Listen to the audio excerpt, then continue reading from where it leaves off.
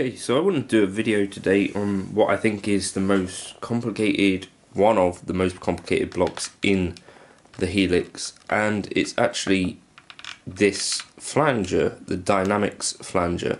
Now I think this is actually based on the MicMix Dyna Dynaflanger or something very close to this idea. Now this was supposedly Frank Zappa's uh, go-to flanger. That's about all I can find on it to be honest with you. I'm going to just put it in behind an amp actually. Uh, so we put an amp here, just tri-amp and cab, something relatively unfussy and you know straight out of the box it sounds like this. And what I think you can hear there is that it's listening to the input and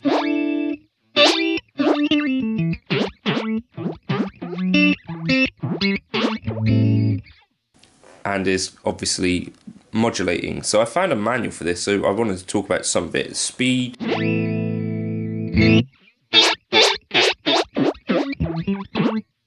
Right, so what I wanted to try and do, this is by default set to 2 we've got control select. You can have an LFO.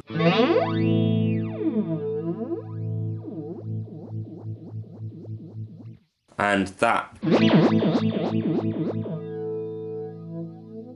with some slower sounds.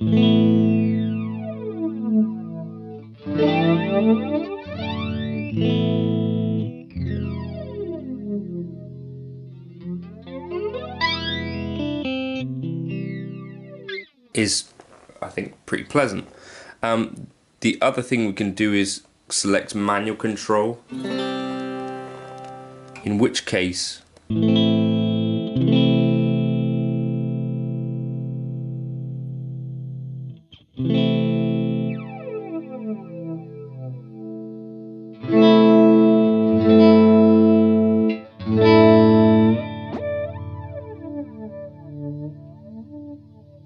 You could flange that if you control that with like an expression pedal. Very interesting.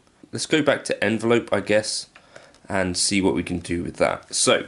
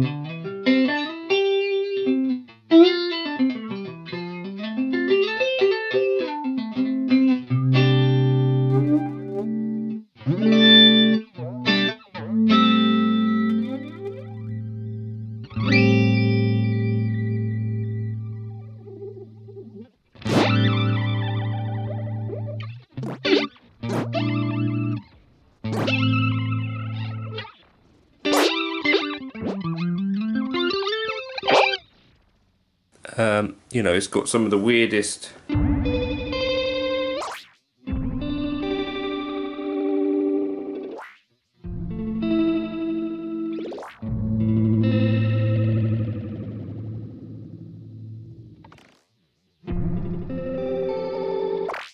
CV normal, I think what you're finding is that the envelope is going the opposite direction.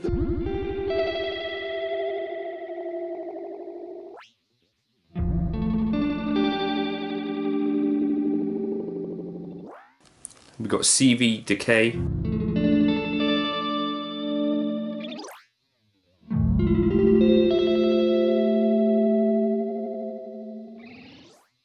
And that to me is sounding more like a tape speeding up.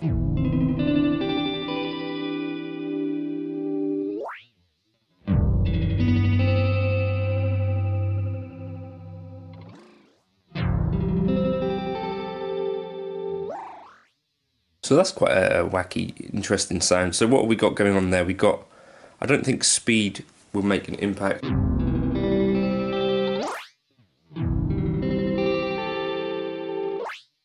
Maybe it does. What was it at? 6.8. Okay, so we got manual set to zero, that, that's not being involved at the moment. Phasing minus 10, CV dynamics at 10, max delay at 83, recycle the in if we get rid of that.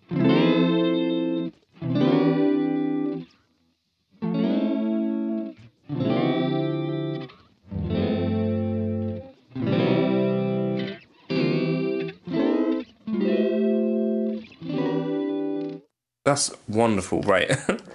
okay, so I thought maybe there'd be a reason to try and check this out. Um, and I think I just found it. So, so what this is then doing is it's kind of letting the tape catch up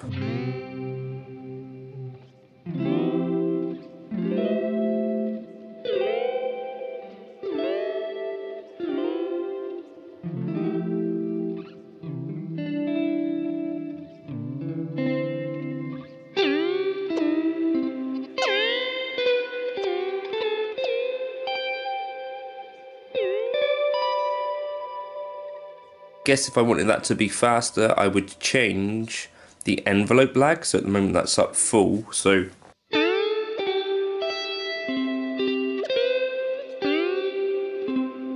or maybe not. Decay.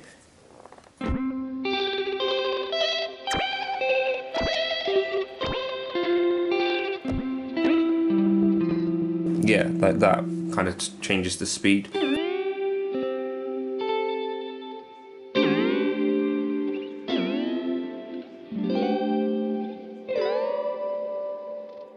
That in itself, I think, is pretty lovely. Right, so that's settings for that really cool little kind of tape sound.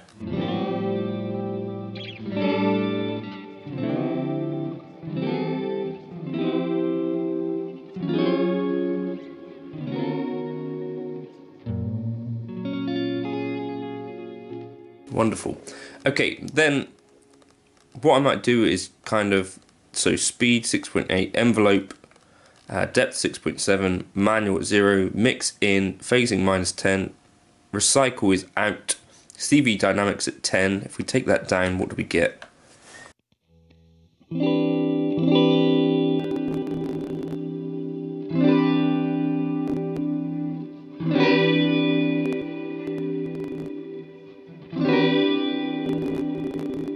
and the most pronounced.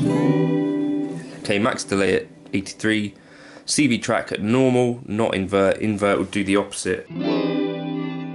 Full back down to the pitch, and envelope lag is at 100 milliseconds, envelope in is at plus 70 dB, and CV decay is at minus 4. Now, on this second snapshot, what I'm going to try and do is something a bit different, I think. So, snapshot 3, we want to be envelope.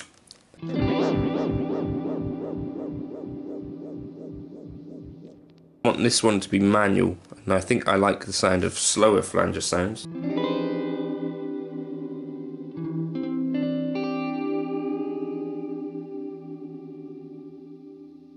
take this depth down.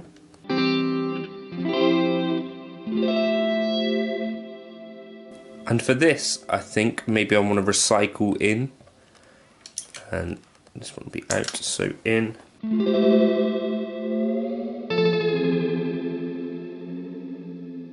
the other thing I want to do, I think, is use a shorter CV decay. So we want it 4 for that snapshot, and then maybe 2.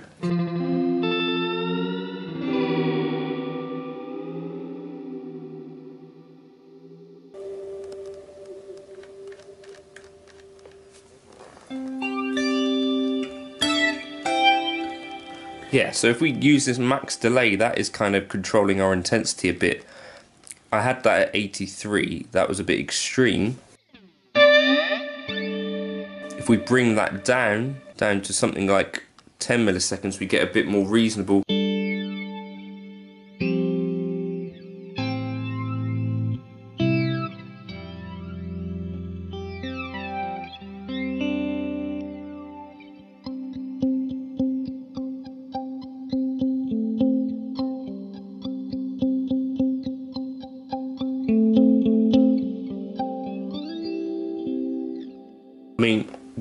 Is clearly an insanely powerful effect, and I had no idea you could do this.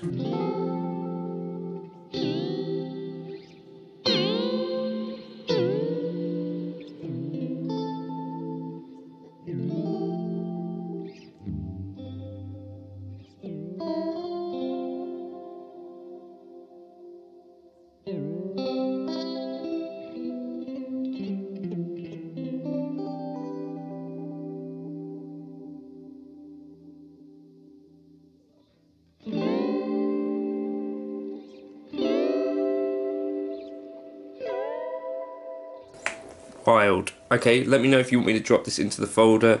And also let me know if you, you found that at all helpful in terms of demystifying the Dynamix flanger. LFO means that you've got more of a traditional flanger. And then what we got? The envelope means that it's listening to your envelope as you're playing. So that controls your, your kind of dynamics control the flange effect. And then manual is you could control that with a pedal um, and then these other elements here, like max delay, is kind of you could think about that as intensity. CV dynamics is talking about how much your envelope is uh, influencing it, and CV track sends it in either up or down in pitch in terms of what's happening with the flange. So it would, in invert, it would come down instead of coming up and lag and these things is uh, CV decay. This is also important. It kind of controls the length of that flanger thing. So a pretty wild effect, to be honest. Um, worth experimenting with, though I think. And again, let me know if you want me to drop this into the folder. Cheers.